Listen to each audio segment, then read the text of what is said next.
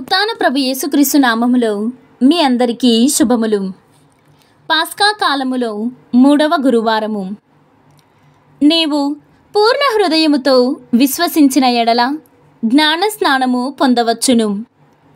మొదటి పట్టణము అపోస్తుల కార్యములు ఎనిమిదవ అధ్యాయము ఇరవై ఆరవ వచనము నుండి నలభైవ వచనం వరకు. ఆ దినములలో ప్రభువు దూత ఫిలిప్పుతో నీవు లేచి దక్షిణముగా ఎరుసలేము నుండి గాజాకు పోవు మార్గమున వెళ్ళుము అని చెప్పెను. అది ఎడారి ప్రాంతము. ఫిలిప్పు సిద్ధపడి అట్లే వెళ్ళెను.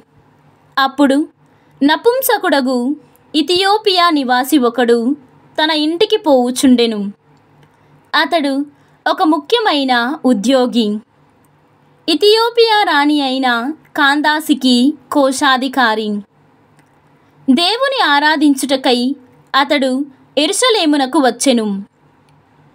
అతడు తిరిగి పోవుచు తన రథముపై కూర్చొని ప్రవక్త అయిన యషయా గ్రంథమును చదువుచుండెను. అప్పుడు పవిత్రాత్మ ఫిలిప్పుతో నీవు ఆ రథము వద్దకు పోయి దానిని కలుసుకొనుము అని చెప్పగా ఫిలిప్పు వెంటనే అక్కడకు పరుగెత్తుకొని పోయి అతడు యషయా ప్రవక్త గ్రంథమును చదువుచుండుట వినెను. అందుచే ఫిలిప్పు నీవు చదువుచున్నది నీకు అర్థమగుచున్నదా?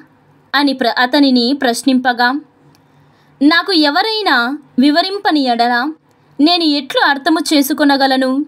అని ఆ ఉద్యోగి పలికెను. అంతటా రథమునెక్కి తన ప్రక్కన కూర్చుండమని అతడు ఫిలిప్పును ఆహ్వానించెను.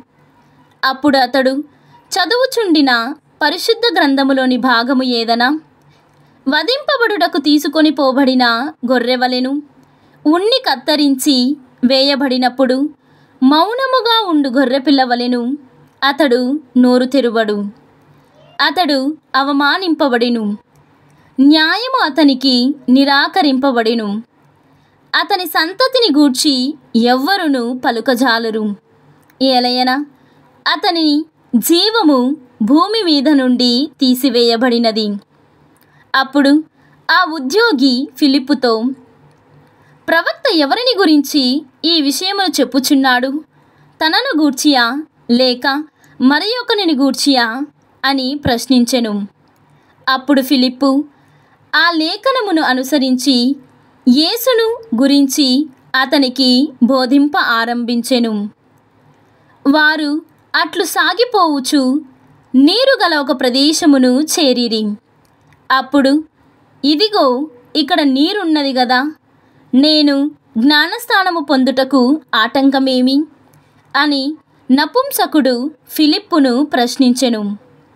అప్పుడు ఫిలిప్పు నీవు నీ పూర్ణ హృదయముతో విశ్వసించిన ఎడల జ్ఞానస్థానము పొందవచ్చును అని అతనితో పలికెను. అప్పుడు అతడు యేసుక్రీస్తు దేవుని కుమారుడని విశ్వసించుచున్నాను అని బదులు పలికెను. ఆ ఉద్యోగి రథమును ఆపివేయ ఆజ్ఞాపించి తానును ఫిలిప్పును నీటి మడుగులోనికి దిగిరి. అక్కడ ఫిలిప్పు అతనికి జ్ఞానస్థానము ఇచ్చెను. వారు ఆ నీటి మడుగు నుండి బయటకు వచ్చినప్పుడు ప్రభువు ఆత్మ ఫిలిప్పును తీసుకొని పోయెను. ఆ నపుంసకుడు మరల ఫిలిప్పును చూడలేకపోయినను.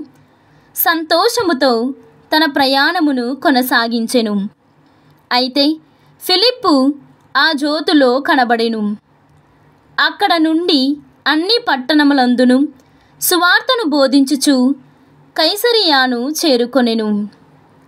ఇది ప్రభ వాక్కు సర్వేశ్వరునికి వందనములు. భక్తి కీర్తన. సకల జనులారా ఆనందనాదముతో ప్రభువును స్తుతింపుడు. ఈనాటి సువిశేషము పునీత యోహాను గారు వ్రాసిన సువిశేషము ఆరవ అధ్యాయము నలభై నాలుగవ వచనము నుండి యాభై ఒకటవ వచనము వరకు. నన్ను పంపిన తండ్రి ఆకర్షించిననే తప్ప ఎవడును నా ఎద్దుకు రాలేడు. నేను వానిని అంతిమ దినమున లేపుదును. వారందరూ దేవునిచే బోధింపబడుదురు అని ప్రవక్తల లేఖనములలో వ్రాయబడినది.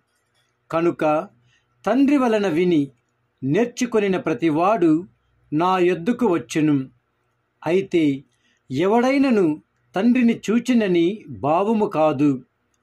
దేవుని యొద్ద నుండి వచ్చినవాడు మాత్రమే తండ్రిని చూచియున్నాడు.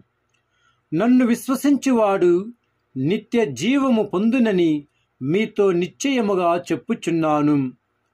జీవాహారమును నేనే.